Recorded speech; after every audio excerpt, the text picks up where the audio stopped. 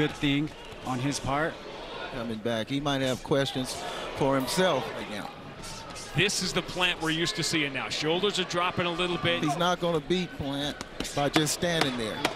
It's going to pay toll towards the end, towards the later rounds. He keeps inching forward, trying to close that gap. Nice body shot by Medina. And Medina smelled an opportunity there.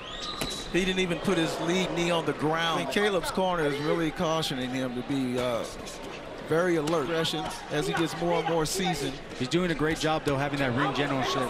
Yes, he is. Yep, keep that focus. Fire that jab. He has to stay focused. Yes. Medina's got this far. And that's what he's doing. Oh. That's why Caleb Plant just- needs to stay focused. He needs to stay focused. And still undefeated, Caleb Sweet Hands Plant.